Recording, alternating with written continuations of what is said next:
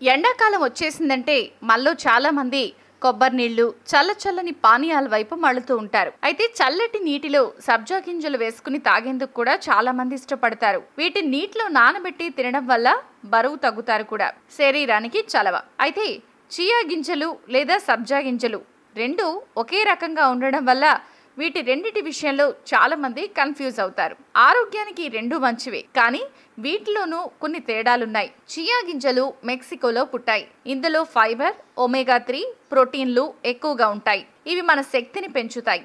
చక్కెర స్థాయిలను పెరగకుండా కాపాడతాయి.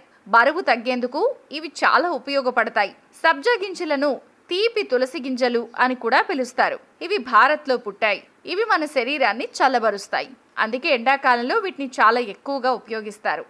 వీటిని తీసుకోవడం వల్ల ఎసిడిటీ జుట్టు రాలడం జీర్ణ సమస్యలు తగ్గుతాయి. శరీరాన్ని డీటాక్సిఫై చేస్తాయి. సబ్జా గింజలు నలుపు రంగులో ఉండి గుండ్రంగా ఉంటాయి. కానీ చియా గింజలు బూడిద రంగులో ఉంటాయి. ఇవి తెలుపు నలుపు రంగుల్లో ఉంటాయి.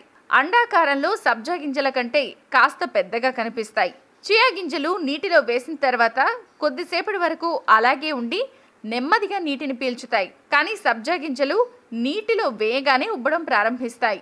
చియా గింజలు పది రెట్లు బరువు పెరిగి అక్కడికి చేరుకొని జిగటగా తయారవుతాయి. సబ్జా గింజలు మాత్రం చుట్టూ పారదర్శకత పొరను ఏర్పాటు చేసుకుంటాయి. ఈ రెండింటిని నీటిలో నానబెట్టి ఓ గంట పాటు ఉంచి తీసుకోవాలి.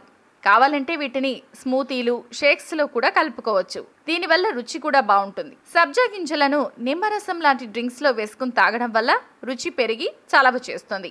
చియా గింజలను అలాగే తిన్నా పర్వాలేదు. కానీ సబ్జా గింజలను నానపెట్టకుండా అస్సలు తినకూడదు. ఇలా తింటే ప్రమాదం. పోషకాల్లో ఇవి దేనికదే సాటి. అయితే బరువు తగ్గించడంలో మాత్రం చియా గింజలు ముందుంటాయి. వీటిని తీసుకోవడం వల్ల బరువు వేగంగా తగ్గచ్చు. అధ్యయనాలు నిరూపించాయి. భోజనానికి ముప్పై నిమిషాల ముందు వీటిని తీసుకోవడం వల్ల కడుపు నిండిన ఫీలింగ్ ఉండి ఆహారం తక్కువగా తీసుకునే వీలుంటుంది. అప్పుడు బరువు వేగంగా తగ్గుతాం.